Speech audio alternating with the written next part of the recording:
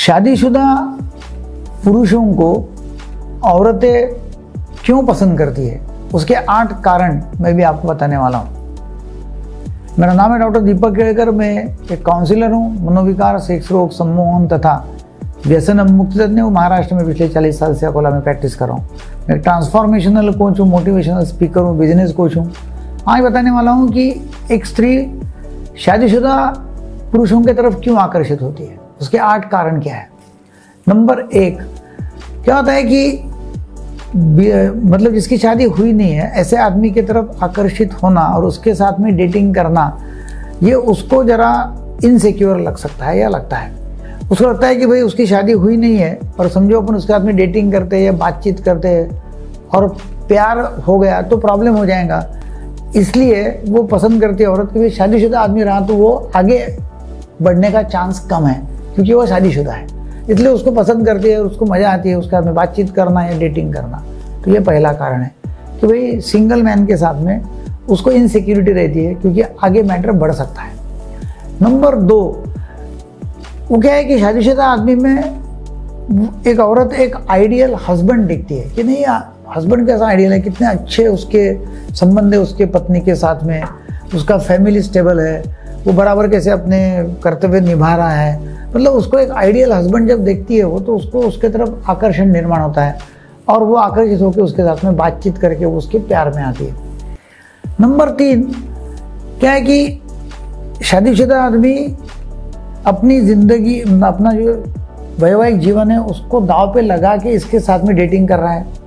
तो उसको जो ये रिस्क वो ले रहा है, वो रिस्क उसको ज़्यादा किक देती है। एक औरत को कि भाई वो तो शादीशुदा है और तभी भी वो रिस्क ले रहा है और अपने साथ में डेटिंग कर रहा है, अपने साथ में टाइम दे रहा है।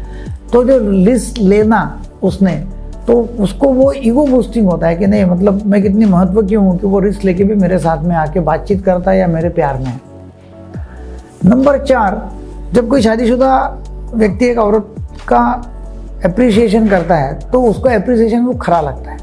उसको लगता है कि भाई शादीशुदा नहीं है और आधा आदमी एक मतलब एक पुरुष औरत को अप्रिशिएट कर रहा है, उसकी तारीफ़ कर रहा है उसको लगता है कि देखो इसका कोई इंटीरियर मोटिव होगा, उसका कोई ऐसा विचार होगा कि भाई इसके साथ में मैं रिलेशनशिप बनाऊँ या सेक्शुअल रिलेशनशिप बनाऊँ। मतलब उसका कोई तो भी अल्टीरियर मोटिव होगा, इसलिए वो है, ऐसा अप्रिशिएट कर रहा है। शादीशुदा आदमी करता है अप्रिशिएट तो उसको लगता है कि तो शादीशुदा है, वो तो सचमुच अप्रिशिएट कर रहा है, और फिर उसमें उसको लाइकिंग डेवलप होती रहती है। पांचवा औरत शादीशुदा आदमी को एक स्टेबल आदमी करके देखती है कि स्टेबल है। क्योंकि क्या है कि उसको शादीशुदा है, उसके बच्चे हैं, उसका जॉब स्टेबल है, उसका बिज़नेस है, वो मैच्योर दिखता है तो एक एक स्टेबल आदमी है।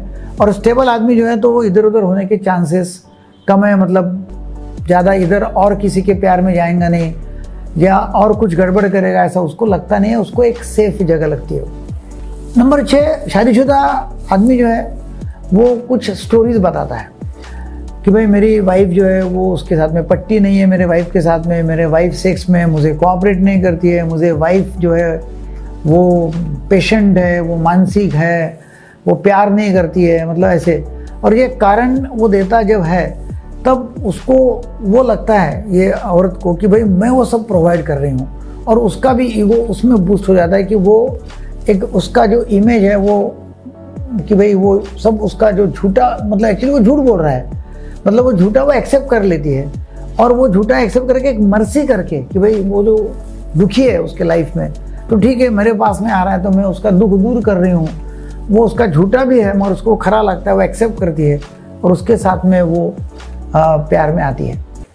नंबर सात ये औरत के पेरेंट्स के साथ में संबंध भी ठीक नहीं होंगे या पेरेंट्स की जो शादी थी मतलब माँ बाप की शादी वो यदि अच्छी नहीं रही वो झगड़े झंझट या उनके भी कोई ऐसे संबंध थे। और वो इसने देखे तो उसको मालूम है कि ठीक ऐसा चलते रहता है।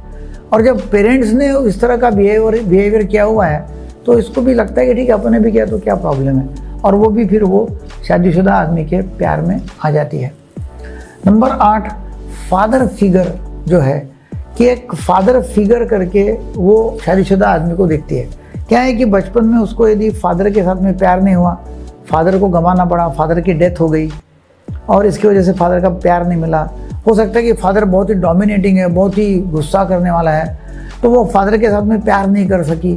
तो सब अभी वो ये आदमी के ऊपर निकालती है। मतलब कैसा है कि उसको वो आदमी एक फादर के साथ में वो मतलब फादर फिगर देखती है उसमें वो और उसके साथ में वो प्यार में आ जाती है। तो वो अथॉरिटी वाला रहा, बड़े पोस्ट के ऊपर रहा तो उसको वो अच्छा लगता है कि नहीं, इसके साथ में मैं प्यार करूँ।